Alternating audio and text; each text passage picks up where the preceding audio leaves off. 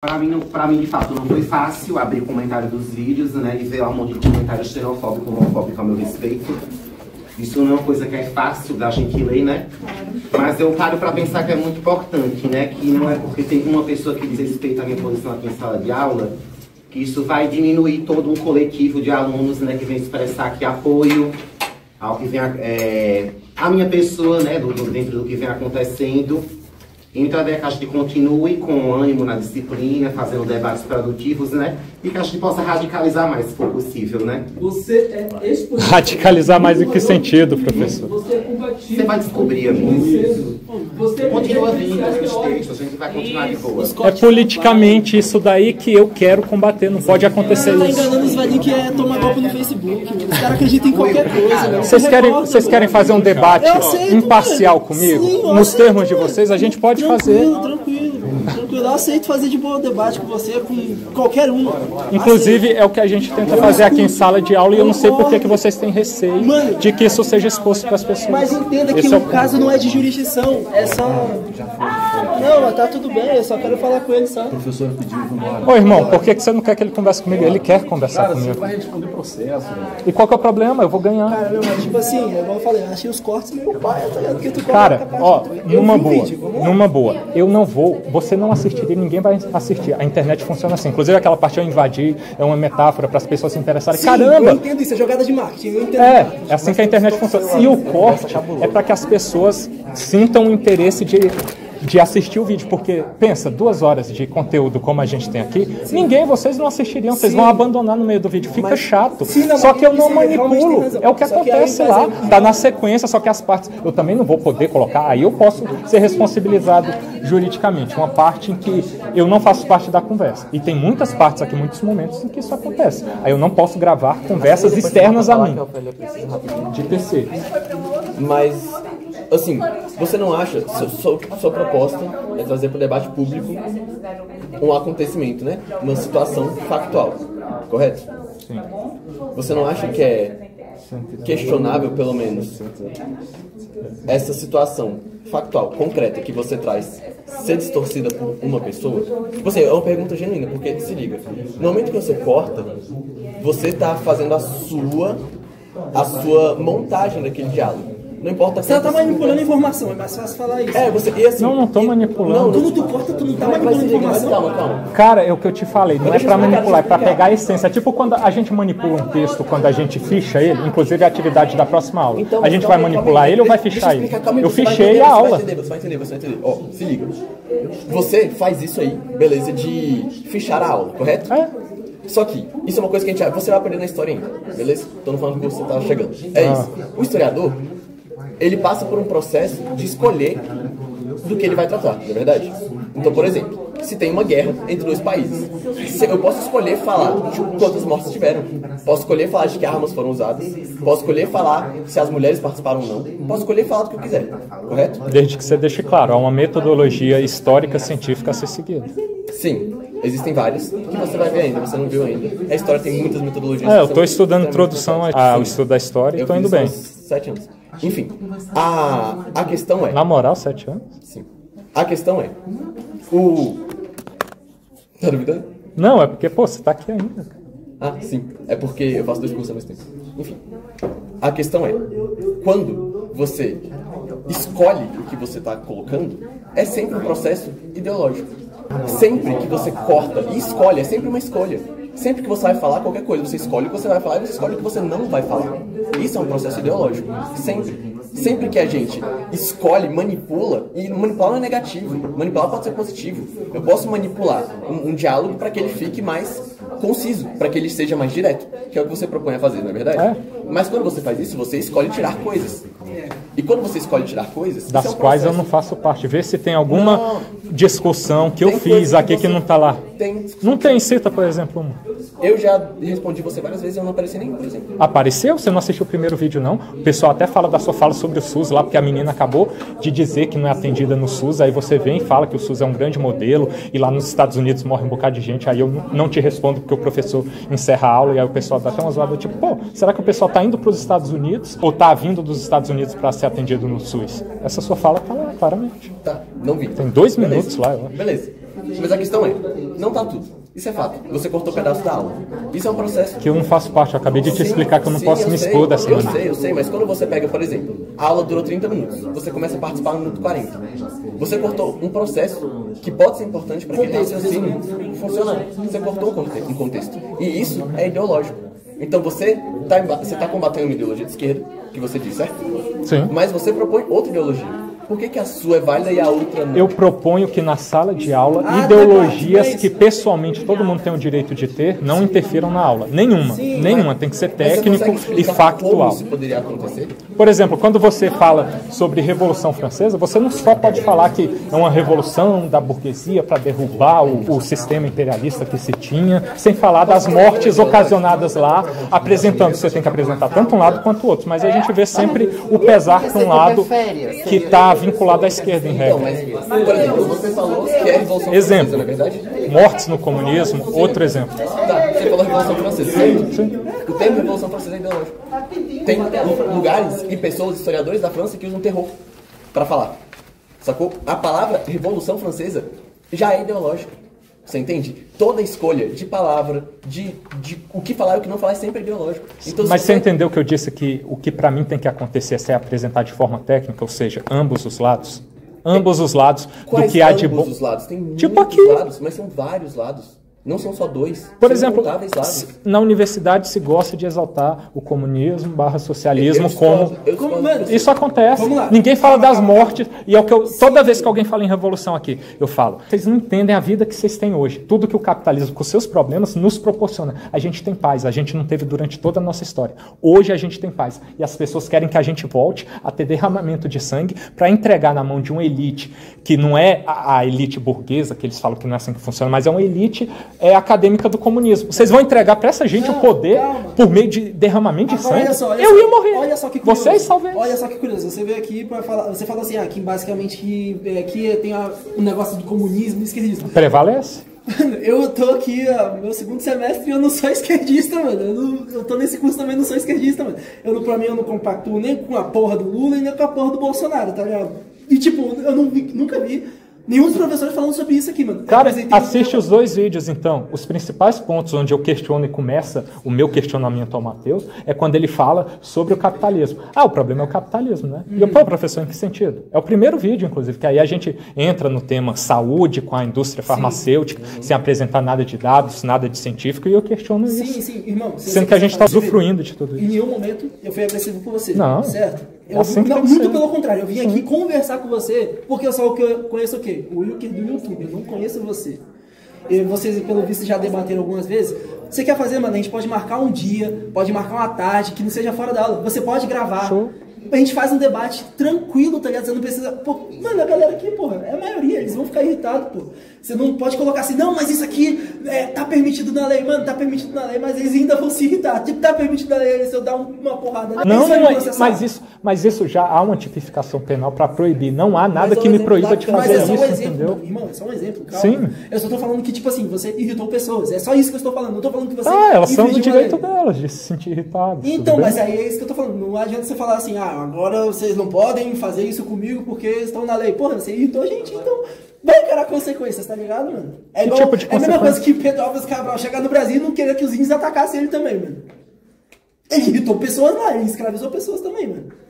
É o mesmo contexto. Só tô falando que você não infringiu uma lei, mas sim irritou pessoas. E por isso há consequências. Se você, eu acho que o que os professores queriam dizer é, pô, chega aqui na manhã, ou tudo bem eu gravar aqui, eu tô fazendo conteúdo massa, ou se não puder, tudo bem, falei que eu só fico aqui assim, só eu a parede aqui. Tá? Mas pede, fala com o professor só isso, mano, porque as pessoas, se você grava as pessoas assim, tá, assim que elas saibam que está sendo gravadas, Aí depois você- você vai recortar. Tudo bem que você não quer deixar duas horas de vídeo, mas ainda assim, que no momento que há recorte, há manipulação de informação. Não tô falando que é o que você queria, mas Eu há. já expliquei. Cara, eu posso Ainda- falar uma coisa? Sim. Assim, eu também sou estudante aqui. Mas, desculpa, aqui pessoas ficam irritadas pelo simples fato Muito de não- fácil, eu sei. Muito fácil, e pelo simples fato de você não concordar com elas. Isso é mentira. Eu vivi isso na pele. Porque eu tava tendo um protesto. Você já está aqui há um tempo. Já tô aqui há um tempo. Tava tendo protesto a favor do Hamas. Aí Por favor, do Ramon. Tava, eles estavam com placas, eles estavam gritando no ICC. Não sei se é aqui, mas eu sei que, tipo, em São Paulo teve muito, tá ligado? É, Aqui teve muito, eu fui, tá nos dizendo, meus beleza, vídeos. Mas você é a favor da Palestina e do Hamas são coisas diferentes. São Não, coisas diferentes, mas que eles são- exaltam é, Hamas as lideranças Eu, não tô, eu só tô pegando como Acontece. exemplo, eu não tô, falando, não tô falando que os dois são a mesma coisa. é? Eu sei que são, É, a maioria é são de diferentes, coisas diferentes. Mas aí, eu fiquei- aí ela tava usando a palavra, ah, porque cometeram, o Israel cometeu genocídio. Eu cheguei no simples fato, por que que eu entrei? O meu tio era professor daqui. Sim. E eu vi, e ele já é um senhor de idade. E ele tem problemas de saúde. E meu- mas meu tio é nervoso com questão de política, enfim, ele entrou no meio. E eu vi a galera indo pra cima deles. Aí eu peguei e falei assim, cara, cê- eu só cheguei e perguntei, você sabe onde que surgiu a palavra genocídio? Por quê? A mulher virou, gritou comigo e falou, você é fascista, não sei o que, começou Mas a isso são os dois lados. Eu, eu- te garanto, isso são os dois lados, então, é tanto Então, esquerda tipo quanto assim, direita. O extremismo é ruim. Exato, O aí chegamos nesse extremismo, ponto. o, o extremismo é ruim. Mas a partir do momento em que aqui você é contrariado, você se opõe é, a alunos ou até professores, que também já aconteceu comigo, Sim. deu, porque eu vou dizer se eu sou uma pessoa sanguínea, eu bato de frente. Cara, eles vão querer até de. Já me falaram. Eu não vou falar o que me falaram, porque senão vão. Não sei se a gente tá gravando, mas não tem problema nenhum. Tá. Mas a situação vão reconhecer porque correu pros professores. Eu fui xingada em sala de aula. Fui xingada. Durante a aula. Durante a aula. Sim, mas é, o ponto que eu tô, tipo assim, Aham. é, querendo argumentar em cima, é, não é uma coisa clássica da esquerda, é dos dois lados. Isso é um problema de pessoas. Exato, é de ambos, não é tipo, ah, é esquerda Então, seguida assim, fácil. Mas A deixa, direita deixa eu dar um exemplo também. Por exemplo, você foi do exército, certo? Sim. O exército também tem uma ideologia. Isso você. Cara. Tá, calma. Então deixa eu, deixa eu falar primeiro e depois. Só estando lá dentro para você saber como questões políticas são afastadas em relação à operacionalidade da tropa. Isso bem, não tudo bem. acontece, é diferente dar um daqui. exemplo, um não tem ideologia lá. Tá, você pode ac- acreditar nisso. Dentro da nossa dar um institucionalidade operacional não existe. Tá bom, você pode acreditar nisso. Tem um Não, é um amigo fato, meu. é um fato. Oito anos de casinha. Tem um amigo meu que ele tem um grupo de dança, ele é gay. E eles queriam gravar um, um vídeo de dança na concha acústica que fica na frente do quartel, certo? Tinha um, um soldado lá, e aí esse amigo meu falou, ô, rola de gravar aqui? E ele falou, rola. E aí esse cara foi exonerado. Expulso. Mas ele tava fardado? O cara Militar mal o soldado, instruído. soldado, tá. Com a Sabe- Então, não pode. Sabe, sabe onde é que eu servi? Lá no quartel-general do Exército, onde tirei muito serviço naquela concha acústica ali, Não é quando eu era soldado. supermissão.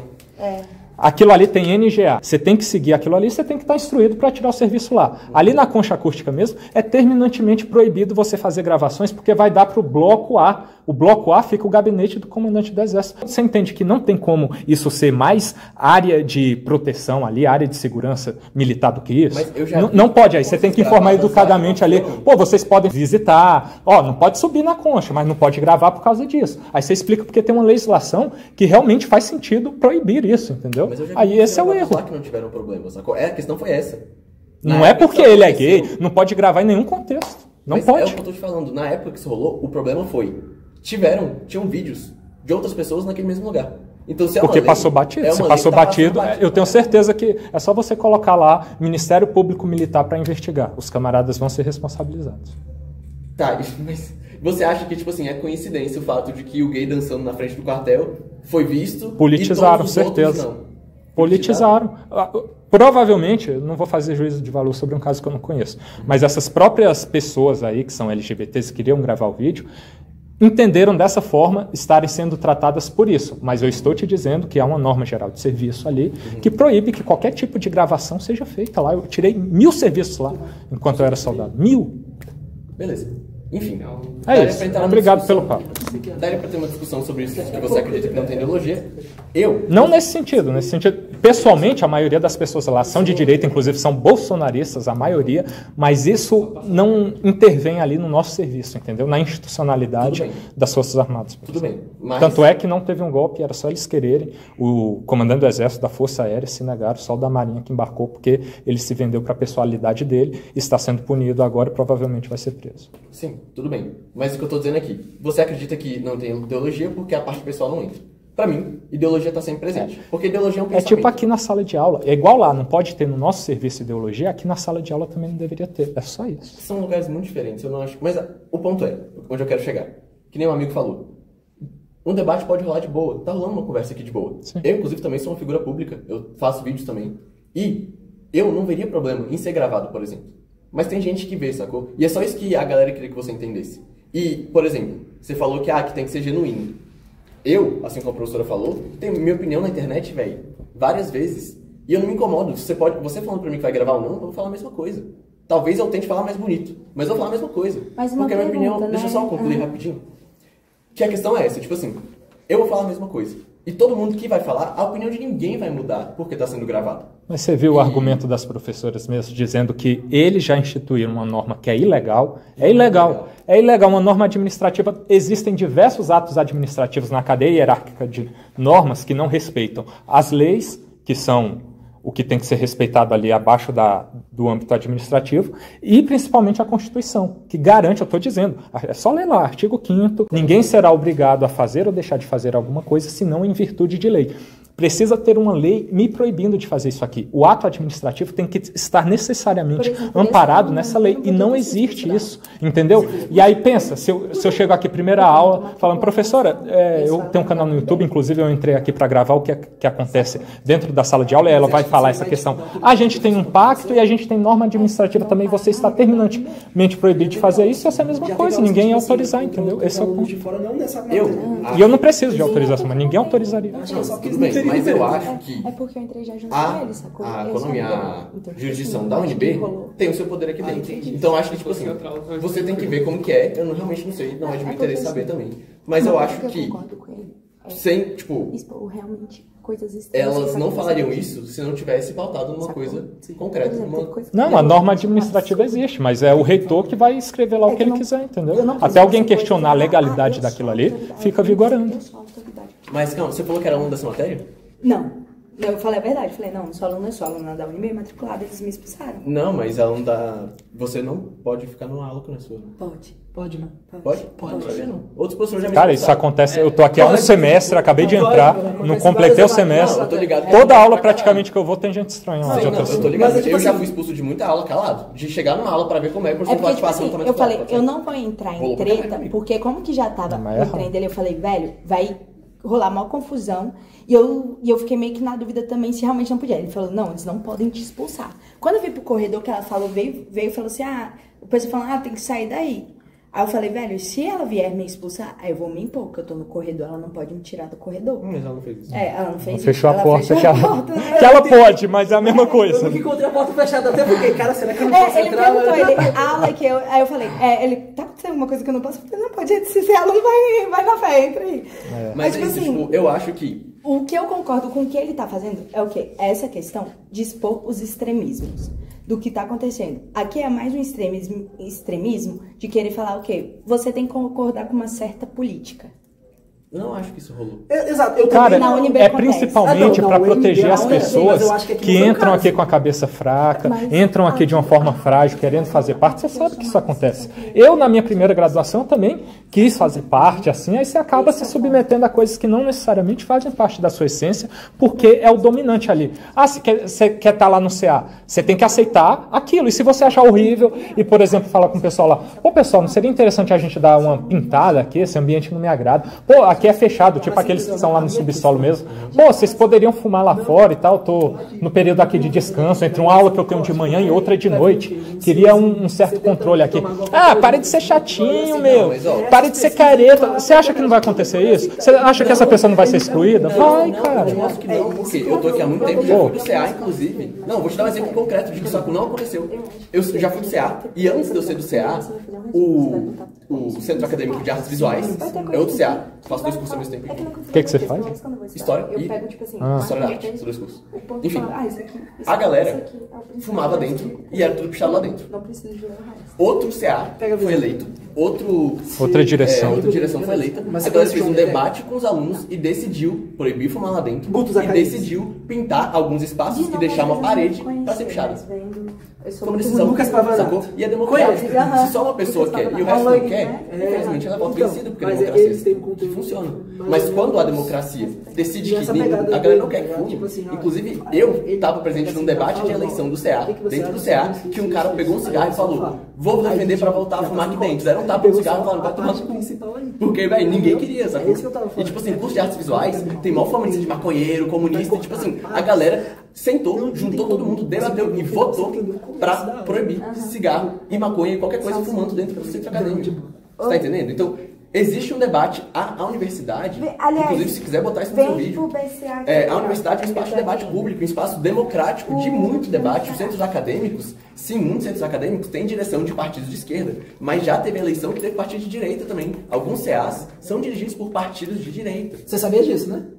Não, nunca ouvi falar de nenhum, não. Tem partido... Direito, é, o curso de direito. A agronomia, talvez, você Agronomia, falou, né? não, Que lá é o mais tranquilo. Algumas engenharias também. Engen- algumas engenharias também. Então, tipo assim- Mecatrônica, por exemplo, acho que é mais de direito do que de esquerda, o pessoal lá. É, tipo assim, a UNB e qualquer universidade é um, um microcosmo da política e da sociedade como um todo. Então existem debates políticos que vão acontecer e alguns vão ganhar, alguns vão perder, isso acontece. Mas a sala de aula. E eu não estou dizendo que não esteja presente o outro lado aqui. Tem, mas eles acabam se Sabe calando, porque nem todo mundo com tem essa coragem. Mas é preciso ser questionado o status quo. A, o do CA de agronomia, tinha a bandeira de Israel lá dentro, entraram e rasgaram. Tinha só uma menina que estava grávida e uma com, com um bebê no, de colo. Entraram e rasgaram. Tinha, não sei se você lembra que tinha uma pracinha na frente que era no canteiro ali.